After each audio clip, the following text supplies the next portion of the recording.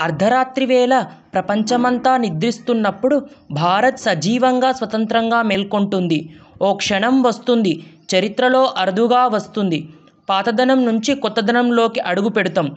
ఒక శకం ముగుస్తుంది. సుదీర్ఘకాలం అణచివేయబడిన జాతి ఆత్మ తన గొంతు వినిపిస్తుంది.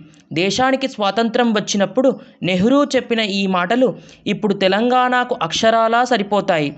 జూన్ ఒకటవ తేదీ అర్ధరాత్రి ప్రపంచమంతా నిద్రిస్తున్న వేళ తెలంగాణ జాతి తన స్వతంత్ర ప్రకటన చేసింది.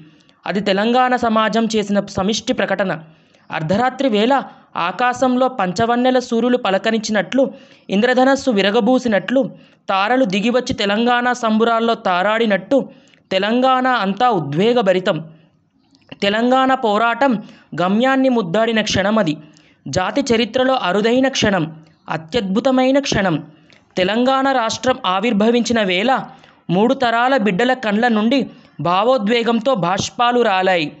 పంతొమ్మిది వందల అరవై తొమ్మిది ఉద్యమం మలిదశ పోరాటం పతాకస్థాయి ఘట్టాలు లాఠీలు తూటాలు గాయాలు ఇట్లా ఎవరి జ్ఞాపకాలు అనుభూతులు వారివి?